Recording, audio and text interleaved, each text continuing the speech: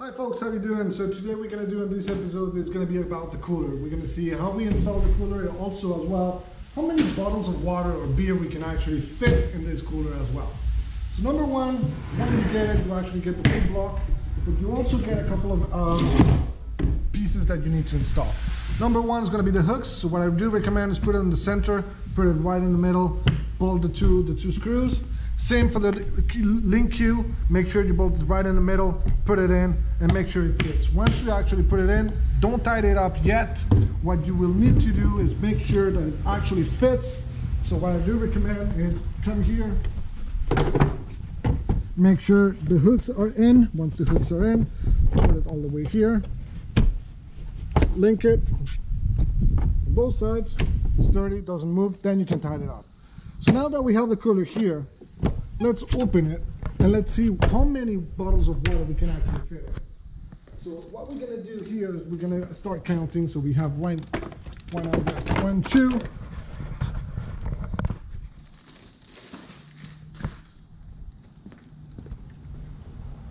three, four, five,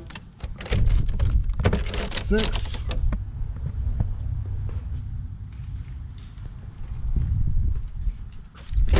seven, eight, nine, so that's nine, ten,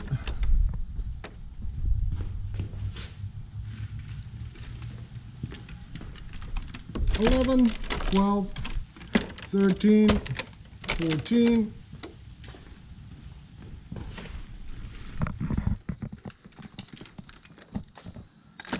fifteen, sixteen. 17, 18, 19,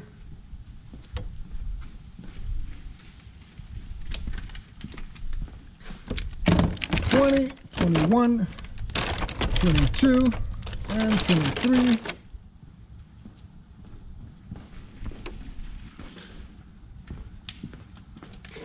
24, 25, 26, 27, 28,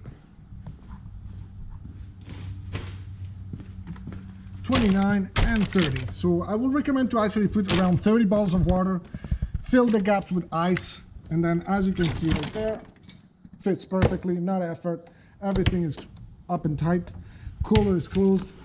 Can fit up to 30 bottles of water or beer with plenty of ice. That will allow you to keep your refreshments cool and be able to you know do your trailer your routes and be able to you know have some cool beverage to drink after it, a cool beer to maintain you hydrated as well. One of the other advantages, you can, as you can see here, you can actually unplug this plug and have all the water, all the ice coming out.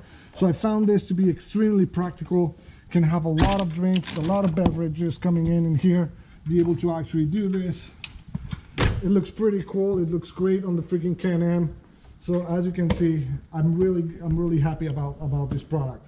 Uh, it fits pretty well, really practical, looks really great. It's not like a bulky part. Everything fits perfectly on this vehicle and it holds a lot of water, which is really great. So if you have any comments or anything, make sure to put it below in the comments. Like the video and make sure you subscribe if you want to see any other videos of all the installation that we've done.